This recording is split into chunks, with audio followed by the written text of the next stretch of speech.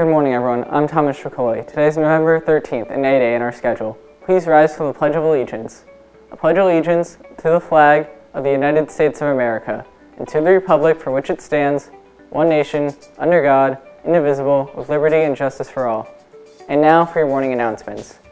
Period 1 AP Calculus with Miss Pasquale will now report to room 221.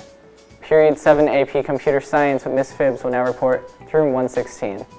The school store is open every Friday before and after school, and also during lunch periods. Stop by to get some of the new merchandise.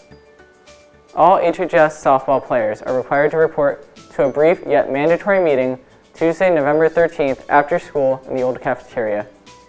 Robotics Club will meet on Thursday this week in room 104 immediately after school. Robotic and programming experience is not necessary. This is your week to create anything you like on our 3D printer during the library lunchtime workshops on Tuesday and Wednesday. Explore the options on Thingiverse and experiment with our 3D doodler pens. Attention all students participating in the blood drive. Please hand in your permission slips to Ms. Russo by Friday, November 16th the only way you will be able to donate is if you get your permission slip in. Time slots will be posted the week of November 19th, so you can check your times then.